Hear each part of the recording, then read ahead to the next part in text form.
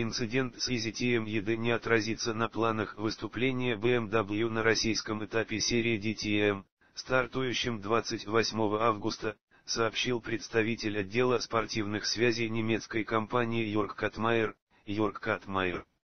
Во вторник на российской границе в Псковской области таможенники нашли более 800 килограммов овощей и фруктов в партии профессионального оборудования для спортсменов-автогонщиков.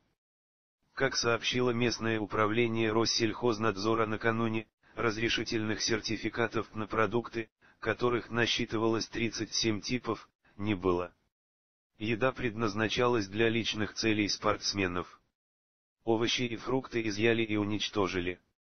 До этого ведомство сообщило, что на том же посту в машине из Нидерландов, которая также везла в Москву оборудование для гонок, нашли свыше 790 килограммов мяса, сыра и морепродуктов без документов.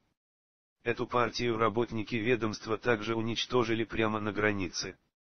Действительно, кейтеринговую компанию, которая обслуживает нашу команду, остановили на российской границе. Там возникли некоторые вопросы по документации, в частности, по перевозке еды через границу.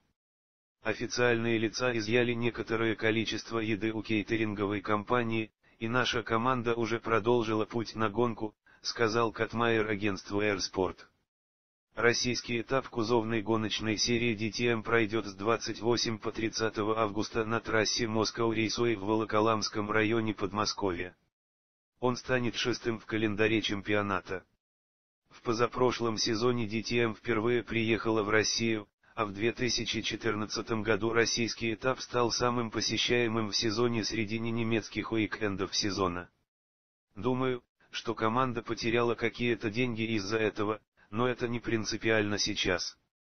Главное, что сейчас все хорошо, кейтеринговая компания сейчас находится уже на месте проведения соревнований, и мы будем выступать в этот уикенд.